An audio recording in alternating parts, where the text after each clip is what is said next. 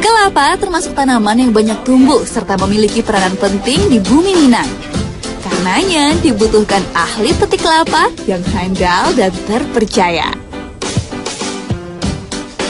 Perkenalkan, salah satu pemetik kelapa dengan kredibilitas yang tak perlu diragukan lagi. Pintar, gesit, usianya baru 10 tahun. Ini dia, Ayu.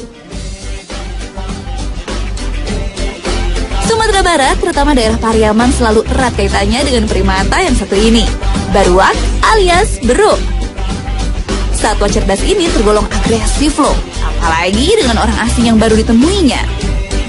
Kalau begitu, mari kita sogok dia dengan ini.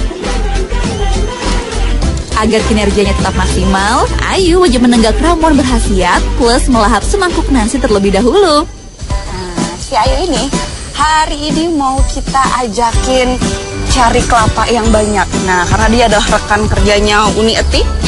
Uni Eti ini tiap hari bawa-bawa Ayu untuk cari kelapa. Dia tahu kelapa yang bagus yang mana ya Uni ya? Yang tua dong. Yang tua. Oke. Uh, udah tuh habis kayaknya. Pintar. Kenyang ya. Kerja kita ya. Setelah semua ludes tak bersisa, waktunya Ayu bekerja. Sepeda kumbang siap mengantar menuju kebun kelapa yang siap dipanen. Asik. Tidak tahu ya. Soalnya ini buat saya duduk. Jadi kita bertiga nih.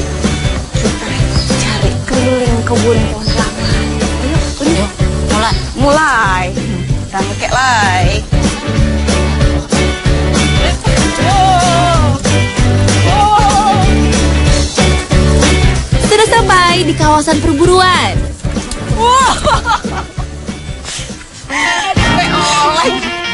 Udah kakak yuk. Secepat kilat, Ayu pun langsung memanjat. Seperti sudah otomatis, dengan cepat Ayu bergerak gesit memilah-milah kelapa yang sudah layak petik. Setelah digigit sedikit, buah kelapa dipuntir hingga jatuh. Jatuh. Warga Pariaman menjadikan Beruk sebagai pemetik kelapa sejak tahun 1830. Pelatih Baruak bahkan jadi profesi yang masih diandalkan. Karena memanfaatkan keterampilan Beruk untuk memilih dan mengambil kelapa dinilai masih sangat efektif, baik dari segi tenaga maupun finansial. Oh iya, kelapa yang diambil bisa sesuai permintaan loh. Biasanya Uni Ati akan memberi pengarahan pada Ayu akan petik kelapa yang tua atau muda.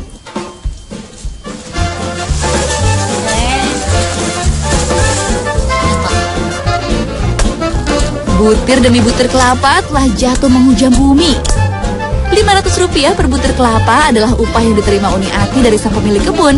Sementara Ayu sudah cukup senang jika satu atau dua butir kelapa di antaranya boleh ia nikmati.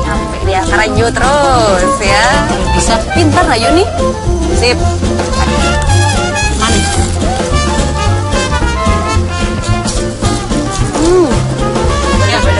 Rata-rata usia maksimal beruk adalah 15 tahun. Nah, Iya, untuk itulah Uni Ati harus menyiapkan generasi penerus sedini mungkin. Lagi ya. Umur Andri baru menjelang 2 tahun. Jadi lagi semangat-semangatnya belajar nih. Mendidik beruk memang butuh kesabaran. Namun cara belajar sambil bermain seperti ini terbukti ampuh melahirkan beruk berkualitas.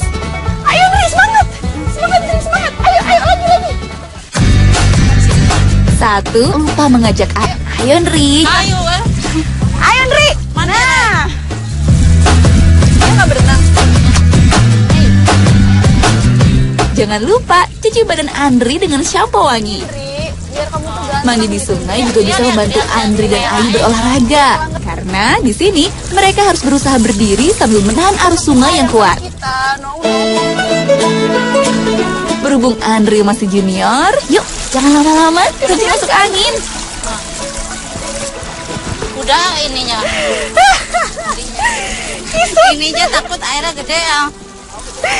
Kasihan Kisut nggak kalau sudah seperti ini ya. Ini udah bukan rekan kerja lagi. Bahkan buruk ini sudah jadi seperti sang buah hati ya.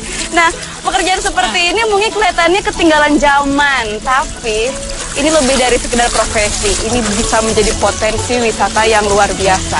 Kalau menurut saya sih ini nggak boleh punah dari Indonesia. Ya Andri ya? Oh, Andri kedinginan. Awannya. Oh, Andri kedinginan. Eh kedinginan kali lah ampun mandi.